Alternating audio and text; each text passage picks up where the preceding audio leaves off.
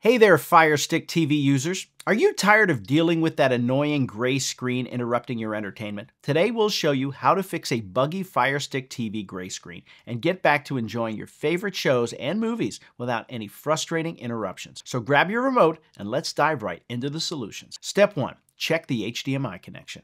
First things first, let's address the basics. A loose or faulty HDMI connection can be a common culprit of the gray screen. Start by ensuring that your Fire Stick is securely connected to the HDMI port on your TV. Unplug the device, wait a few seconds, and then plug it back in firmly. Check if the gray screen issue is resolved. Also, consider switching to a different HDMI port if the problem persists, as sometimes a particular port might be. Step 2. Restart your Fire Stick. If checking the HDMI connection doesn't solve the problem, it might be time for a quick restart. Just like any gadget, the Fire Stick sometimes needs a reboot to clear temporary glitches. To restart your Fire Stick, press and hold the select and play pause buttons on your remote for about 5 seconds. You can also navigate to Settings, My Fire TV, Restart. Once restarted, see if the gray screen issue has disappeared. Step 3. Update your Fire Stick software. Outdated software is often the root of many technical problems, so keeping your Fire Stick updated is key. To update your Fire Stick, go to Settings, My Fire TV, about,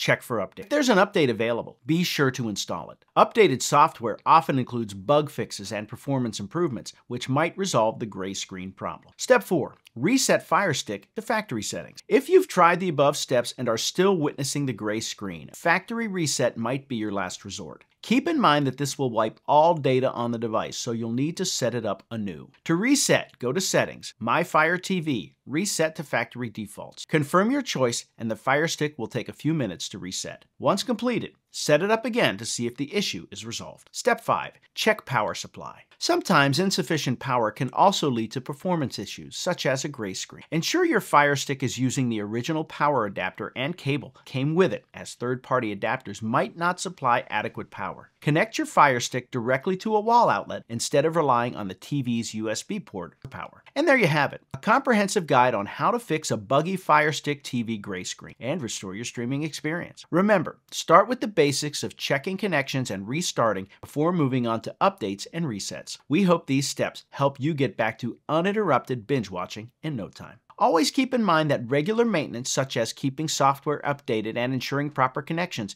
can prevent many common issues with streaming devices. If you continue to face challenges, consider reaching out to Amazon support for further assistance. Happy streaming.